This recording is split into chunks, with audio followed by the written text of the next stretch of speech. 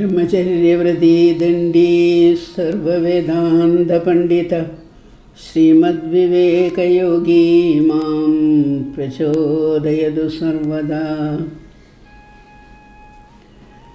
According to Swami ji renunciation and service are the twin ideals of India so whether it is Karma Yoga, Bhakti Yoga, Raja Yoga, Jnana Yoga, wherever it is, a very important place is given to renunciation.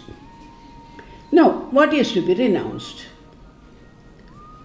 So, when we talk of renunciation, some of us will say, Yes, I have given up eating potatoes, I have given up smoking, I have given up drinking. Does all that amount to renunciation? We have seen in the Karma Yoga what is renunciation? I, mine, my, all that have to be renounced. Even Arjuna asked this question to Krishna what exactly is renunciation? So Krishna says, Karma bhala icha. It is the renunciation of your karma bhalecha. Because it is very difficult for us to do work without asking for a return. Similarly, in Bhakti Yoga also, it is very difficult for us to love somebody, but somewhere in the corner of our mind, there will be some desire. A desire, if we are going to God, of course, we will desire for our well being, or we pray for somebody to get out of their sickness. Hmm? So, some desire is lurking somewhere or other.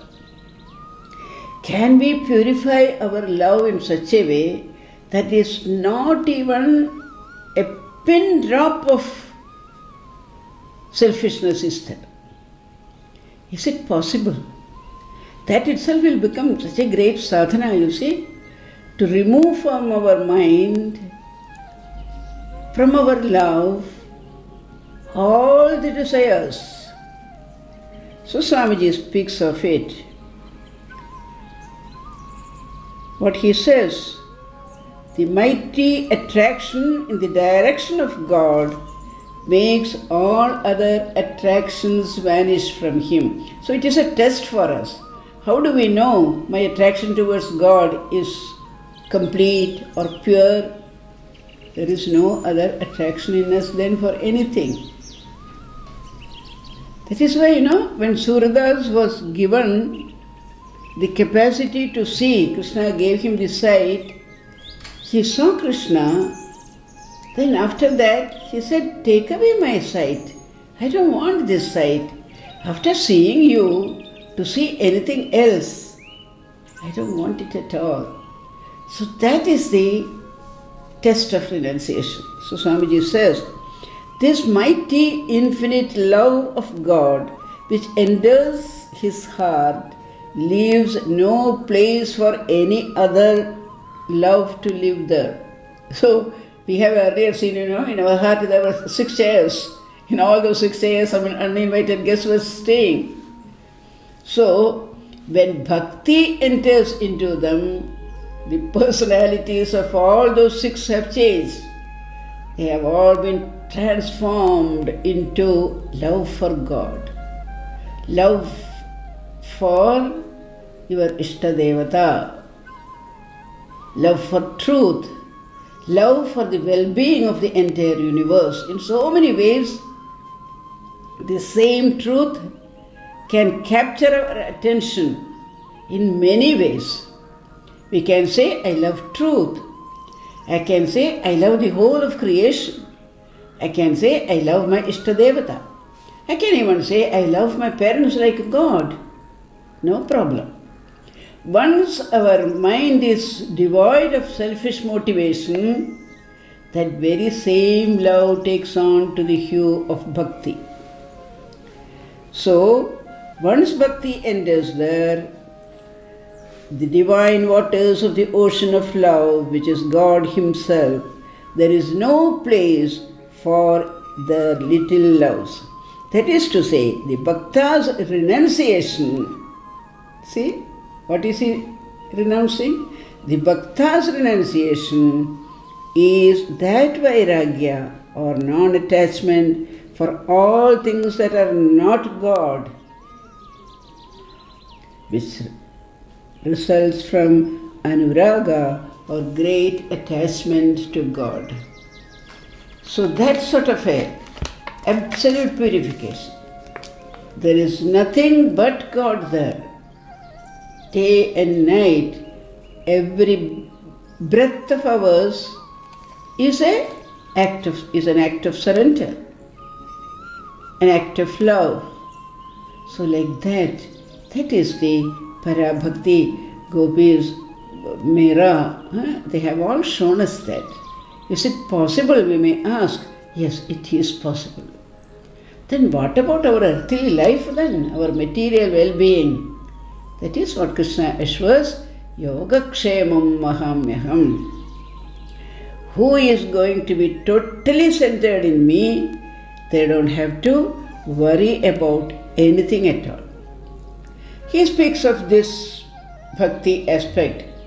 When he came back to India in the Rameswaram temple to the surging crowd there who had come to receive him, knowing fully well the attitude of the normal people towards bhakti, to the temple, to the worship, to the divinity in the temple, knowing fully that in a very, very eloquent way, he talks to them about this worship. So at Rameshwara, he says, Rameshwara, external worship is only a symbol of internal worship. But internal worship and purity are the real things. Without them, external worship would be of no avail. Therefore, you must all try to remember this. You know, that is a mistake for the entire Hindu community. We make so much of the God, our love for God and everything, but at the same time we forget to serve the God in human form which is there in front. So somewhere he is telling this is the gist of all worship to be pure and to do good to others.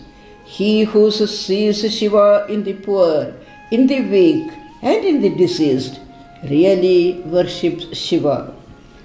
If he sees Shiva only in the image, his worship is but preliminary. So it was a great warning to the people. Probably Rameshwaram lectures are some of his very first, you know, after landing in India. So, what he is going to give to India, this word, here we get the first indication of it. We have seen in our Karma Yoga, serve man, serve God. So, that he is emphasizing. We can have temple, rituals, everything.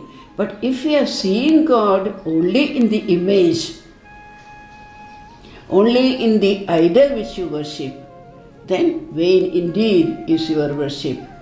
You know, later somewhere he says, break the idol and go to the ideal. And go to Shiva, worship.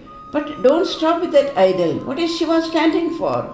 That universal being, the personified form of Tyaga. When the Kalakuda emerged from the Shira Madana, churning of the milky ocean, and the whole world was threatened of destruction, he calmly consumes the Visha, poison, and helps both Devas and Asuras. No difference. So, in our life also, you know, there will be so many occasions when this Kalakuda Visha emerges in family life, in our social life. At that time, we should remember worshipping Shiva, having bhakti towards Shiva is not only a temple oriented worship. We should be able to consume that visha, that poison, and bring happiness and peace in the surroundings. So, Swamiji in Rameswaram, he gives a very, very meaningful message to all of us that worship Shiva, worship Krishna, worship Devi, not in the temples, but see them all in the people around. So, renounce your personal interests and serve them as their servants as you would serve the God Himself.